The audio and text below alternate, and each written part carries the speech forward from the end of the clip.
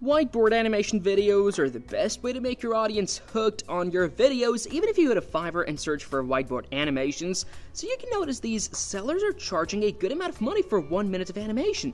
Even there are so many softwares of whiteboard animation as well, like VideoScribe, Doodly, etc. But today in this video, I'm going to show you how do you produce whiteboard videos on Canva. Yes, you heard it right. Now you can use Canva to create whiteboard animation.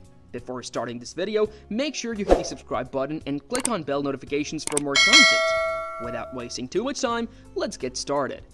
Open your browser and go to canva.com and on Canva,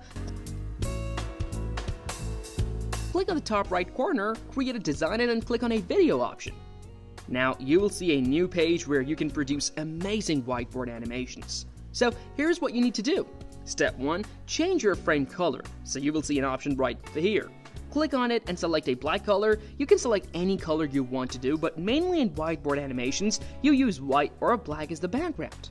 Step number two, for demonstration purposes, let's just write a text. For example, subscribe to my channel, so just go to the text section and write your text.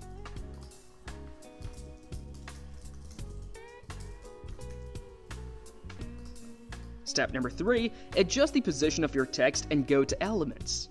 Step number 4, now in the Elements section, search Chalk in Hand and go to Graphics. Now if you have Canva Pro, that would be good for you, but you can also download SVG files from Google or even PNG Works. So let's suppose I'm using this one. Step number 5, put the text behind then your hand image. So for that, just right click on your any image and go to layer and you will see an option of bring backward or forward and click on animate here, and then select a filter of typewriter. Now if you're using the basic version of Canva like me, then you will not get the option to decrease or increase speed of animation, but for now for this video, let it be as it is. Important step number two, now click on your hand image and put it at the position of the starting of a text like that. Then select it again, click on animation and click on create an animation. Now move your hand image as you're drawing it by yourself, and you see a whiteboard animation effect like that. If you use the Pro version of Canva, then things will be easier for you, but at the end of the day, you can create whiteboard animations using Canva. So that's how you can create whiteboard animation using Canva. That's it for today. If you have any questions, do let me know in the comment section. Subscribe to my channel for more interesting and informative videos. I'll see you in the next video.